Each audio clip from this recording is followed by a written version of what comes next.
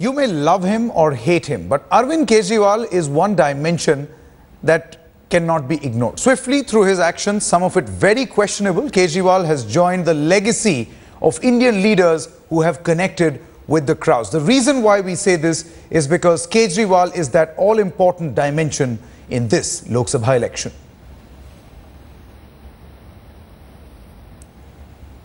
मोदी जी के दामन के ऊपर गुजरात के दंगों के छींटे थे इंसान का इंसान से हो भाईचारा Arvind Kejriwal, a new brand of Indian politics. A maverick brand that has changed the way politics was done in this country.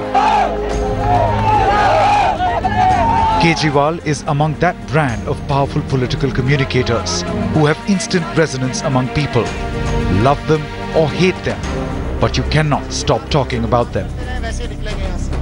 While his direct political opponent is attributed with the same traits, history is witness to many, many more. Former Prime Minister and Congress President Indira Gandhi, referred to as the Gungi Gudiya, she went on to become India's Iron Lady, accused by her political opponents as authoritarian, most loved by her political constituency for her instant and tough decision making. During the socialist movement, Jay Prakash emerged as the people's voice. In the late 60s and the early 70s, every bit of what Loknayak Jay Prakash said carried massive political weight. George Fernandes has also been credited for capturing the imagination of the country. He was the first and perhaps the only one to have brought the massive Indian rail network to a grinding halt.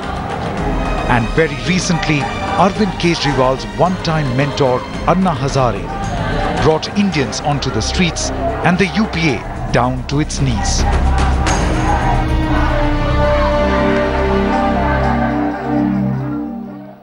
Now, Arvind Kejriwal's phenomenal rise in two years is the result of a calculated strategy aimed to catch the eye of his constituency, the Aam Aadmi. His actions may appear spontaneous, but behind it is a well thought about strategy.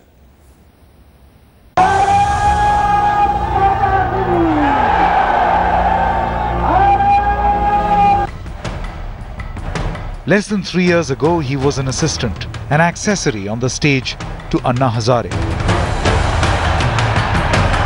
Two years later, Arvind Kejriwal was taking oath as the Chief Minister of Delhi. But it was what happened in these two years which made a politician out of an agitator. Thousands of aspiring politicians have been forcibly dragged by cops. But Kejriwal knew how to exploit these scenes. And he did that by targeting Congress where it hurt the most. Its disconnect with the Aam Aadmi.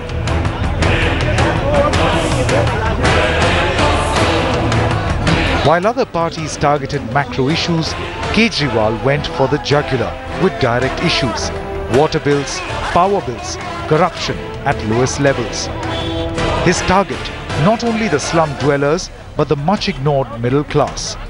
He urged Delhiites on a path to civil disobedience, asking them to tear up their electricity bills. And his party symbol helped, a broom, which promised to sweep away all problems of Delhiites. It became such a potent symbol of that anger that it even overshadowed Aam Aadmi Party's little-known candidates.